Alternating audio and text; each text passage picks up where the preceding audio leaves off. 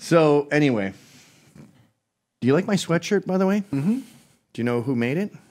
No, Tommy Hilfiger. Wow, you really are at a hundred percent shithead rate. Wait, is that like a, a Henley? Something something Henley? No, Todd Snyder was the designer for um, J. Crew, but he insisted on too much quality and it got too expensive for them. And it killed their profit margin. So after I don't know decades, they fired him. He did really cool stuff like the liquor store. You ever be to, ever go to the liquor store in Lower Manhattan? I shouldn't have told you about it because you're gonna go blow all your fucking money there because you're so bad at saving. But it's a really cool store that has high end. Uh, what is it? J. Crew stuff. Forget the brand. But anyway, so he does these one offs with certain brands, and right now, Todd Snyder's doing Champion. Mm. He's got great stuff. I like that. Yeah, well, it's out of your league, so keep your eyes off it. But the champion sweatshirts are like recreations of the 70s ones.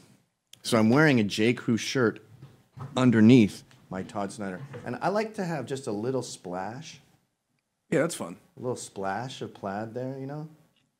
It's very 1950s American preppy, which is really what the mods were based on. They were all the Harringtons and all that shit you see and the short haircuts. They were being 50s mods. They, they were inspired by Steve McQueen. Uh, show some of the champion stuff, though. Okay. Are you on the Todd Snyder's page? Yeah. Todd Snyder, New York. Champion. They have their own little uh, tab now. Champion. Well, maybe you should View click all. on it. What are you doing? View all. Clicking. Waiting. Well, I'm not nuts about those. Nor those. This is all champion? Mm-hmm. Oh, it's all gay. Yeah, that's pretty whack. It's That's getting- pretty cool. that's- Italian that's- wool. Yeah, I can kind of get with that. I, it wouldn't be quiet if someone stepped to me in that. No, he could. He would like That would be it. quiet. It would be quiet if the guy did the red and the blue, if he stepped to me. But hey, if someone steps to me with that, they're going to get some. They're gonna like get it. They're going to get it. They're going to get it. These are cool. Hi, I'm the most popular supermodel in the entire fucking world. And if you come up to me with a certain pair of shoes that are only about 180 bucks, I'll start sucking your dick. They're about 180. Yeah. um, these are pretty uh, affordable for high end stuff. 118 bucks sweatpants. No, it's out of your league, dude. Stop. I almost bought a 250 dollar hoodie. You're kidding me. I no, I didn't. I wouldn't have ever, ever. Even if I have a million do- dollars, I wouldn't buy 200. You can buy expensive shit if you can afford it. Here's how you buy things. Is this a good deal? Yes, for my for my. Can I afford it? Is number two. Okay, that was no. Do I need it? Mm-hmm. Is number three. Yes, You don't need a for my briefcase. For my briefcase. You didn't need a briefcase. What was the matter with your backpack? Thing is, Ninety percent of New Yorkers carry their laptops around their backpack. Now, the way my express suits are constructed, I meant I wanted them to last a long time. I'll put the camera on me. Um, and it destroys the shoulder pads. I learned this from uh, going through the airport with my backpack on. And then I looked it up. I was like, "Am I not supposed to?" And it says, "Yeah, you don't do that.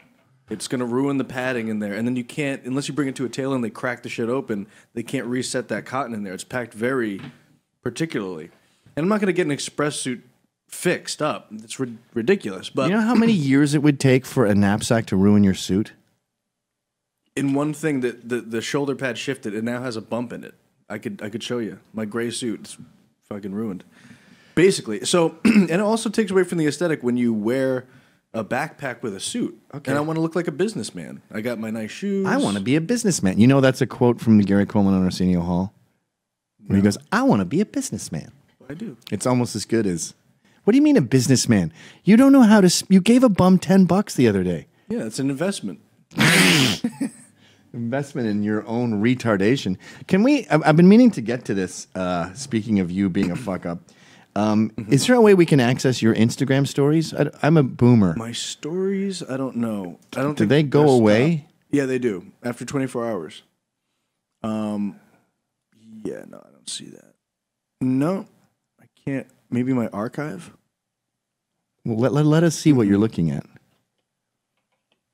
Because your Instagram stories are so shit. What are you I'm talking about? constantly amazed. I assume an Instagram story is like, "Hey everyone, check it out! I just caught this frog. Uh, I've never seen markings like this before because it's red. Something that you don't want to fit in an Instagram thing. Anyway, bye frog," and then he goes away. I get that. You'll just have you with a tie and some shitty song in the background by like Tool or something, and it'll just be like, "Boo-doot, boo-doot, boo-doot." that's it. Yeah, they're little vignettes of expression. But you're not expressing anything. Mm-hmm. Oh, will you stop horking tobacco into a fucking Gatorade container? It's so disgusting. You're making me seem like the worst. You are the worst. Show the camera what you're just spit, spitting into. He's. I apologize. That is disgusting. It doesn't help that I look the most disheveled I've ever looked. Like this You're is- worse than a woman. You're worse than menstruation. Menstruation is a curse that leads to a miracle. Ooh, I but like that. uh, you just said, I, "I'll take on my own menstruation, thanks," without the creating life part. I need nicotine. Otherwise, I can't concentrate. so this is for the show. This is an investment again. I don't want this in my lip. It's very. In, it's not convenient for me. But I do it for the show. Bieber has limes, one three. Mm. Will you stop with the fucking spitting? You just did it two seconds right, ago. one more. How often do you have to do it? I just don't want to swallow this particular batch. It's like it's every 10 seconds. This one's bad.